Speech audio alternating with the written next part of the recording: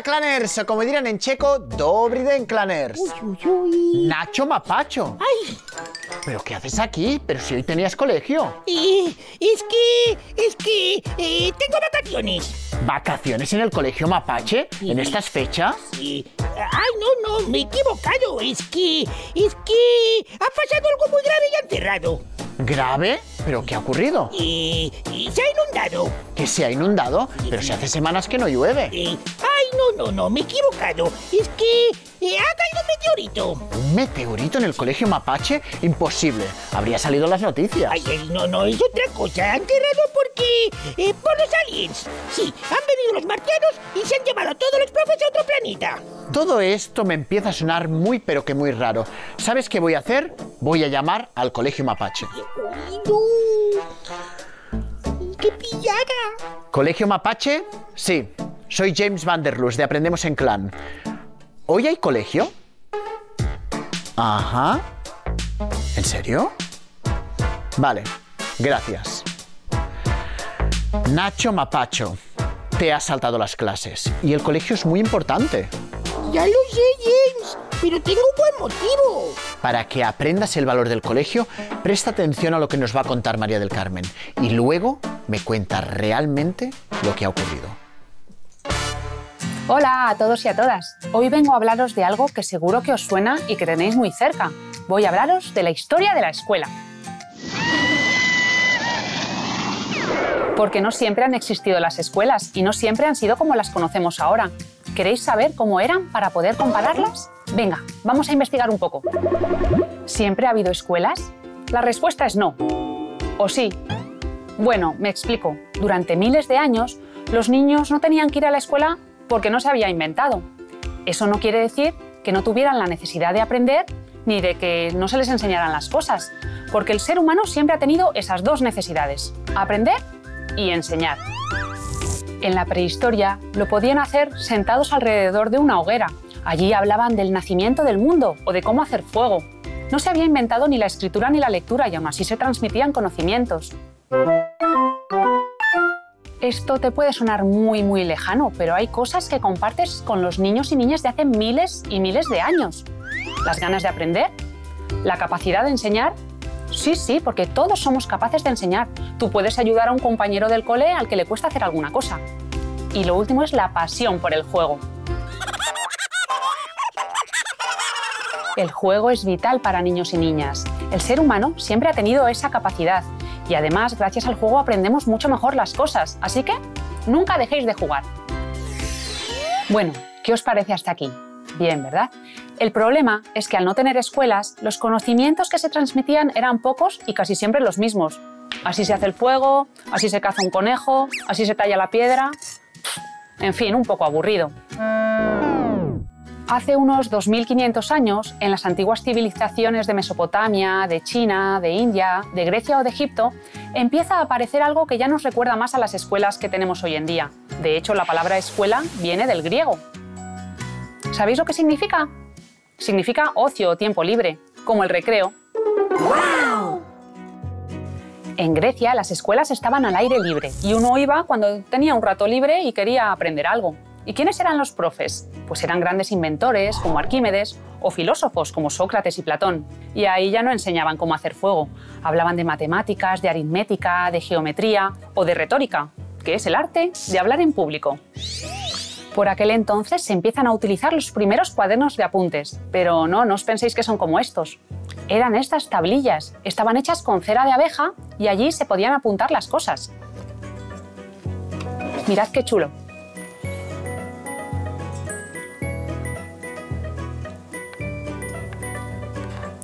Luego era un poco engorroso, porque con el punzón había que estar borrando para tener otra vez una hoja limpia.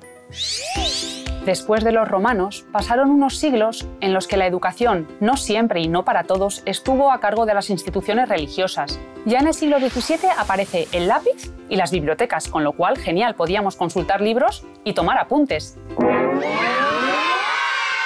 Eso facilitó que en el siglo XIX empezaran a aparecer las primeras escuelas ya mucho más similares a las que conocemos hoy en día. Allí había profesores dedicados a transmitir conocimientos a los niños, pero todavía no a todos. No. Aunque en España la educación pretendía ser para todos los niños a partir de mediados del siglo XIX, todavía en el siglo XX había muchas personas que no sabían ni leer ni escribir.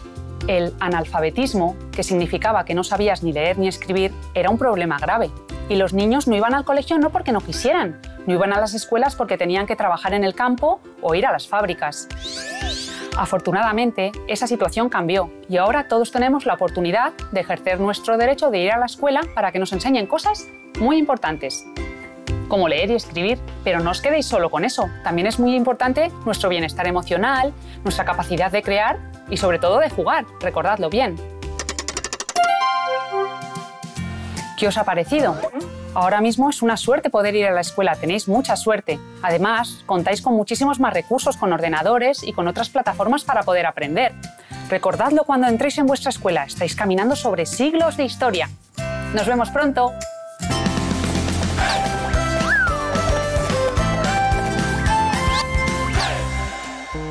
Bueno, Nacho, cuéntame qué es lo que ha pasado, pero esta vez de verdad. Es que... Es que mi primo Juan Mapacho se ha comido mi libreta y mi mapache estuche. ¿Cómo? Lo que oyes. Ya se podría haber comido el libro de mapaches mágicas. Pero que se hayan comido tu estuche y tu libreta no es excusa para saltarte las clases. Pero es que... Es que si voy a la escuela sin ellos, los demás mapachitos se van a reír de mí. ¿Por qué se iban a reír de ti? Porque... Porque... Porque... ¡Ay! ¡Ay! Venga, Nacho, no seas tan dramático. No lo puedo evitar, James. He nacido para ser estrella. Soy un gran actor. Mira, aquí te dejo mi libreta. Eh, Oye, muchas gracias, James. Al final me vas a caer bien y todo. Y ahora, con el tema del estuche, mira a Aurilo y Arlequina. ¿Pero qué haces, Orilo, ahí bailando? Ay, es que me estaba imaginando a Arlequina que estaba en una isla desierta, rodeado de cocoteros y de playas, la arena. ¡Ah! Eso sí, tendría que pensar muy bien qué me llevo, porque allí no habría tiendas para comprar cosas. Yo tengo clarísimo lo que me llevaría a una isla desierta, Orilo. ¿El qué, el qué? Todas mis pinturas y mis bolis y mis cosas de apuntar. ¿Pero para qué si en una isla desierta no te van a poner deberes?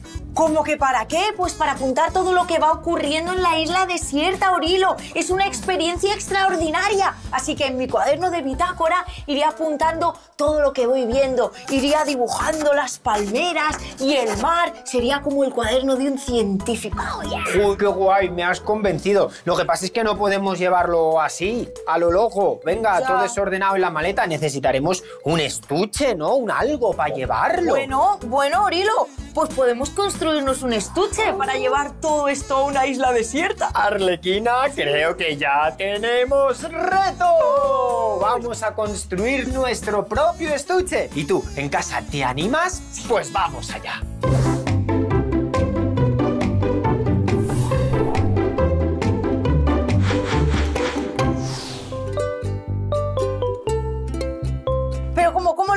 Hacer? ¿Qué podemos utilizar? ¡Oh! Podríamos utilizar materiales reciclados, ¿eh? Darle una segunda vida a los materiales. A ver, a ver, ¿qué tienes por lo ahí? que tengo por aquí. ¡Uy! ¡Oh! ¿Has ¡Qué visto? buena idea! Un bote de champú. Una vez se haya utilizado, lo podemos reconvertir en un estuche increíble. Fijaos. ¿Eh? ¿Habéis visto? ¡Qué se bonito! corta por aquí, le pones los lapiceros, los retuladores o lo que quieras y ya tienes tu estuche. Además, es resistente al agua porque es un bote de champú. Y lo Es- puedes personalizar con tu fruta favorita. Yo le he puesto unas fresas. Es muy bonito tu bote de plástico, pero mira lo que tengo aquí. Cartón. También podemos hacer un estuche de cartón. Es muy chulo porque lo puedes pintar, incluso lo puedes recortar, Orilo. Y puedes hacer cosas tan extraordinarias como esta de aquí. Pero- Mira qué pedazo de estuche me he currado. ¡Qué bonito! Tiene distintos departamentos donde puedes meter aquí el celo, aquí el sacapuntas, Toma. aquí la goma de borrar. ¿Qué te parece? Pues Lo- me parece estupendo. lo que pasa es que es verdad que el cartón para una isla desierta, no lo sé. Se puede mojar, ¿eh? Se podría aplastar y tal. Sí. Podríamos hacerlo con madera, por ejemplo, con los palos de madera de dos helados, ¡Qué podríamos construirnos eh, un pedazo de estuche en forma de bote. Esto sería más un bote para guardar los lapiceros. A y ver, a fíjate que los podemos colocar aquí dentro y los podemos pintar y personalizar como queramos. Mira, mira, mira, qué cosa más maravillosa. Ya ha quedado precioso, pero mira lo que tenemos por aquí. También podemos hacer un estuche de un bote de cristal. Y Uh. mira el que he pintado yo. ¿Qué te parece? ¡Toma! Ha Me ha quedado quedado súper bonito. precioso. Le he puesto increíble. aquí números, letras para hacer bonito y le he puesto aquí una cinta, ¿eh? que me queda un pedazo de estuche. Toma Mira, ya. Y resistente al agua, ¿eh? Que es de Este vidrio. sí, este sí. ¡Wow! Así que ya sabes, ahora es tu turno. Con materiales que tengas por casa puedes construirte tu propio estuche para llevar tus lapiceros a una isla desierta.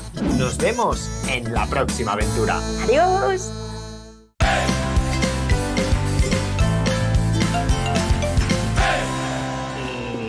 Ya tengo mapache estuche. Bueno, no tienes uno, tienes dos. No te quejarás. Uno está hecho con una botella de champú y el otro con una huevera. Sí, aunque...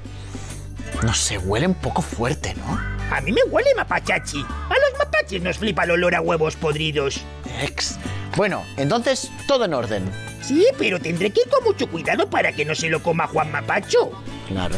¿Por qué crees que a tu primo le gustan tanto comerse estas cosas? Ni idea. No le pregunté. Quizás será por las materias primas. Mis primas no tienen nada que ver con esto. Ellas viven en Mapachinchilla. No, las materias primas son los recursos que sacamos de la naturaleza para elaborar estos productos. Mira, Miguel nos lo explica mejor. Hola matemanicos y matemaníacas, ¿qué tal? Hoy necesito vuestra ayuda como expertos en material escolar. ¿Por qué? Porque estoy seguro que en vuestra mochila tienen cuadernos, bolis, rotuladores, también tendrán el desayuno y seguramente algún que otro juguete que se esconden sin que nadie se entere. ¿A que sí? Pero, ¿sabrían decirme cuál de esos objetos es una materia prima? ¿Cómo? ¿Que no saben lo que es la materia prima? Pues empecemos desde el principio. La materia prima son recursos naturales que extraemos directamente de la naturaleza. Con ellos los podemos utilizar directamente o podemos crear otros objetos. Por ejemplo, la leche. La leche es una materia prima y con ella, ¿qué podemos crear? Pues podemos hacer queso, podemos hacer yogures, que están riquísimos. Esos serían productos elaborados. ¿Sabrían decirme algún otro producto elaborado? Pues un mueble. Un mueble es un producto elaborado y la materia prima es la madera. Vamos a hacer un pequeño juego porque lo que me interesa es saber de qué están formados los objetos y eso lo vamos a hacer gracias a las matemáticas. Vamos allá. Quería saber de qué están hechos estos objetos y qué mejor que con una tabla de doble entrada. ¿Por qué es de doble entrada? Porque aquí en la columna vertical tengo mis objetos, el lápiz, el sacapuntas, la mochila y el cuaderno, lo que tengo aquí. Y arriba, en la fila horizontal, ¿qué tengo? Pues los productos de los que puede estar elaborado. Tengo papel, cartón, plástico, metal, tela, madera y otros. No todos son materias primas, pero están elaborados de esos materiales. ¿Bien? Vamos a empezar por el primero. Tengo aquí el lápiz, porque para esto tengo mi tabla de doble entrada. Tengo que ir marcando en las casillas el lápiz de aquellos compuestos, de los materiales que están compuestos. Por ejemplo, por papel, no. El lápiz no tiene papel. Cartón, tampoco. Plástico, este no tiene, no, no. Metal, tela tampoco. Madera, madera sí, está compuesto de madera. Y dentro está compuesto de otro material. Genial. Pues vamos a ir con el sacapuntas. El sacapuntas en este caso, ¿qué tiene? Papel, no, cartón, no. ¿Qué tiene? ¿Tiene plástico? Sí, tiene plástico y también tiene metal. Estupendo. Pues el siguiente sería la mochila. La mochila y el cuaderno. ¿La mochila qué tiene? Pues la mochila tiene, aquí veo que tiene plástico, tiene metal y tiene tela. Y también tiene otros materiales. ¿Bien? Y el cuaderno, el cuaderno está formado ¿por qué? Por papel, que son las hojas que tiene dentro, el cartón, la tapa dura y el metal. Muy bien. Esos son los materiales de que están formados. Ahora, ¿qué puedo? Pues puedo analizar y ver un poco de qué materiales hay más uso y menos uso. Por ejemplo, veo que muchos de mis objetos tienen ¿qué? Tienen metal. Y también veo que hay otros que tienen mucho plástico. Así podemos decir, ¿podemos reducir el plástico de nuestros objetos? Vamos a repasar lo que hemos aprendido. Gracias a las tablas de doble entrada podemos relacionar los conjuntos de datos, en este caso los que están en la columna con los que están en la fila. Hemos puesto nuestros objetos aquí y los materiales con los que se han fabricado. Bien, así podemos analizarlos y sacar nuestras propias conclusiones. Recuerden, ustedes también pueden hacer vuestras propias tablas de doble entrada. Hasta la próxima, matemaníacos y matemaníacas.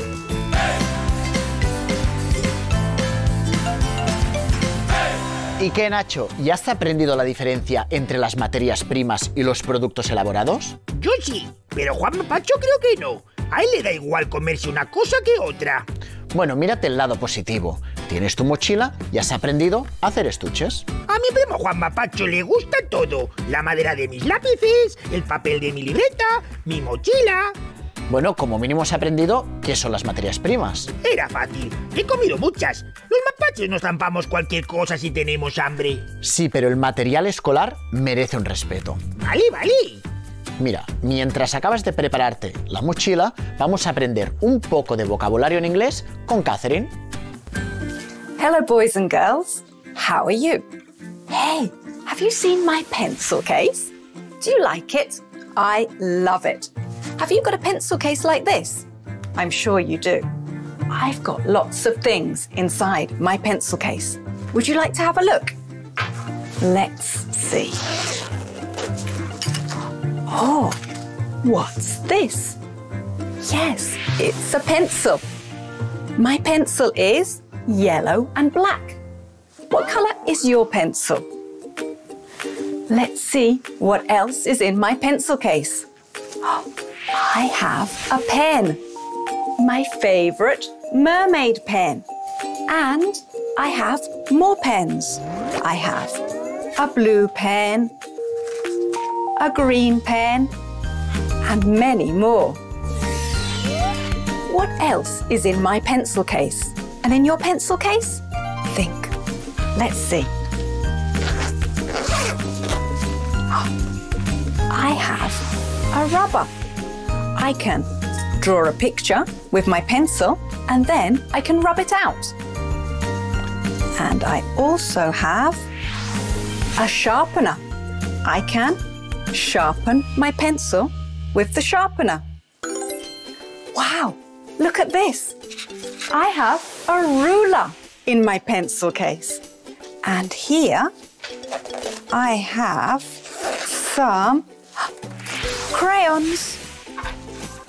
I have a blue crayon, I have a purple crayon, and I have an orange crayon.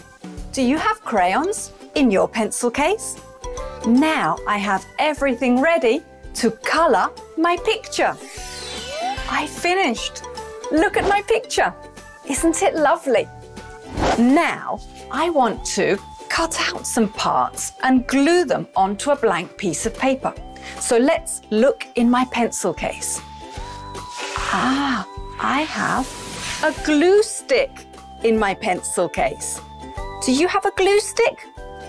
What else do I need to cut out? Scissors. I can cut out my pictures with scissors. Look, I've used my scissors to cut out my pictures. A cloud, a tree, the sun, a girl, and a house. Look at my new picture. I cut out the cloud, the house, the tree, the girl, and the sun, and with my glue stick, I glued them on to this new piece of paper. Do you like it? You can make a picture like this at home, but remember, ask permission before you use the scissors. Now, let's remember all the things inside my pencil case. I have a pencil, pens, crayons, rubber, sharpener, ruler, glue stick, and scissors. Do you have all those things in your pencil case? See you next time, everybody. Bye.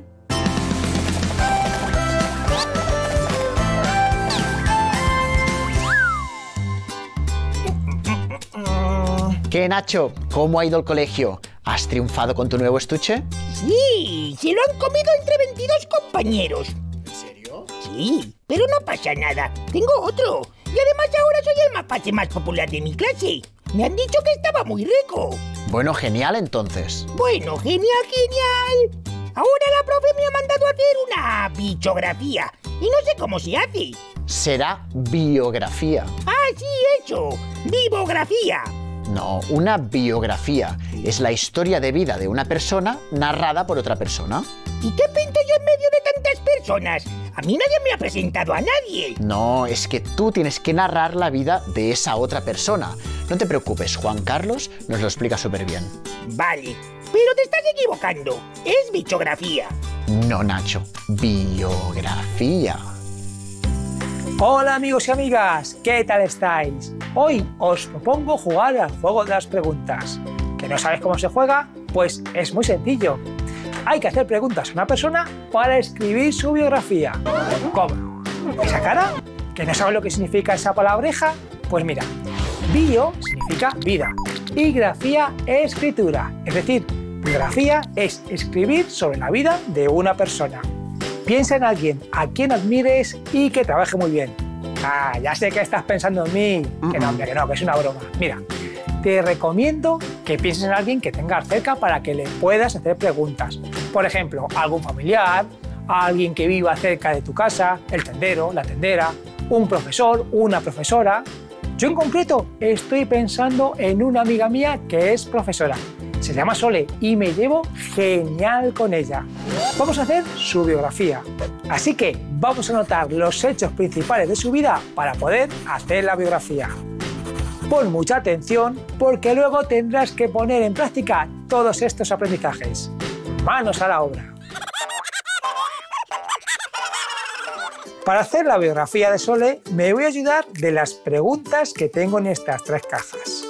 Estas preguntas tratan sobre su infancia, su trabajo y su reto personal. Vamos con la primera. ¿Dónde nace Sole? Nace en Toledo. ¿Cuándo nace? En 1980. ¿Cómo fue su infancia? Pues Sole ayudaba todos los días a su hermana con los deberes. Un día tenía una tarta de chocolate que había preparado su madre para el postre y Sole se la comió. ¿Y sabéis lo que hizo? Untó a su hermana la boca de chocolate para que su madre pensara que se la había comido ella. ¡Ay! Esta Sole, vaya ideas que tiene, ¿eh? Y otra pregunta. ¿Qué cosas le interesaban? Pues le gustaban mucho las manualidades y la lectura. La siguiente caja, el trabajo. ¿Qué estudió? Pues Sole estudió magisterio. ¿Y cómo es su trabajo? Pues trabaja enseñando a niños y a niñas. Le encanta su trabajo.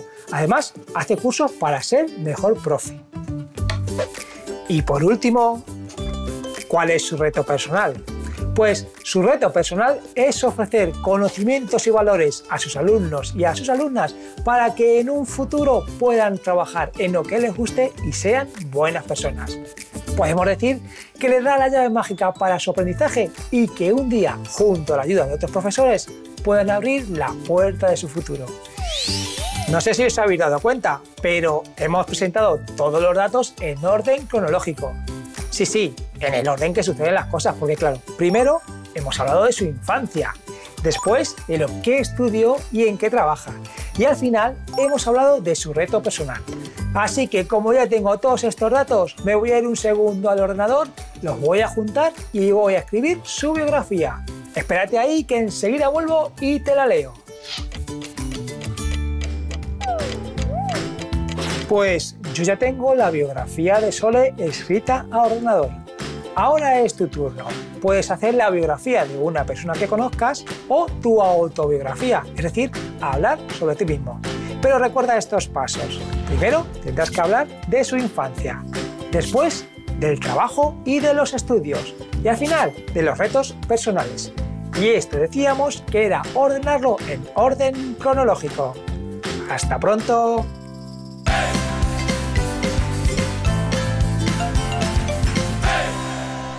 ¿Qué, Nacho? ¿Ya has terminado tu biografía? He decidido escribir una autobiografía, porque no hay nadie que admire más que a mí mismo. Y yo tampoco conozco a nadie que tenga tanto amor propio como tú. Sé que estás deseando que te la lea. Mira, mejor luego porque ahora tenemos que dar paso a las noticias. Empiezo. Nacho Mapacho nació muy pequeñito pero muy guapo en uno de los vertederos más bonitos del país. He preferido ocultar el lugar porque no quiero que vengan los fans a pedirme autógrafos. Al grano, Nacho, al grano. Eso solo es el primer día. Faltan 364 días más, ¿eh? Pues mira, mientras tú lo vas leyendo, yo doy paso al Está mapachando.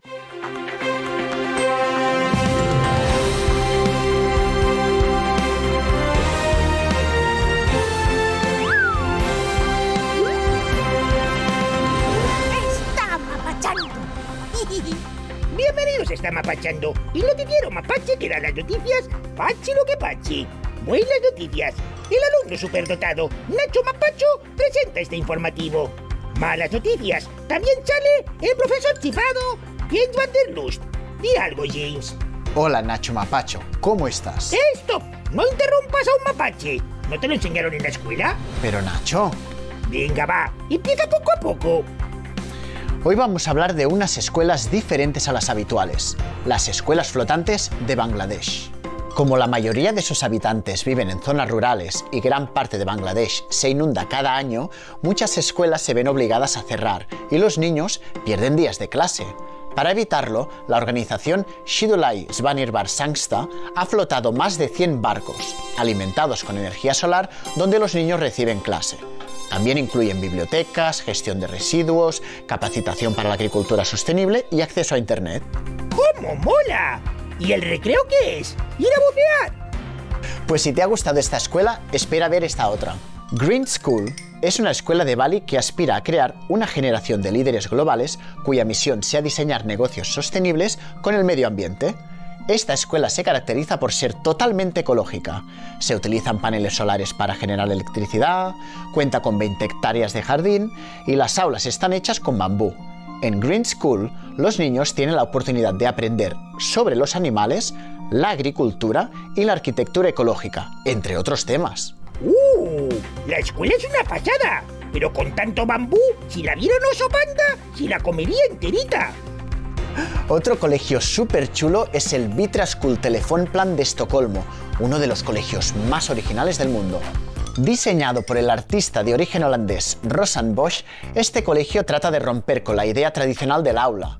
Por eso, el entorno ha sido concebido para trabajar con medios digitales, ya sea de pie, sentados o estirados en el suelo.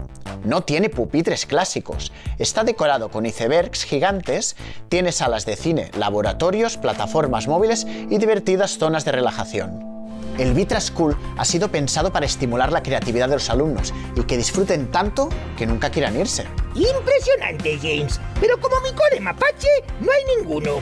Mira, el colegio mapache es un espectacular centro dividido en varias aulas en forma de contenedores. Los mapache estudiantes se agolpan en sus puertas porque no hay nada que les guste más que estudiar rodeados de raspas de sardina y sobras de pizza. En vez de pupitres, tienen bolsas de basura que facilitan el relax y estimulan para aprender asignaturas tan complicadas como mapachemáticas o mapache geometría. ¿Has visto a mi primo? Era el mapache más gordito. Bueno, Clanners, hasta pronto, o como se dice en checo, taxa team Clanners.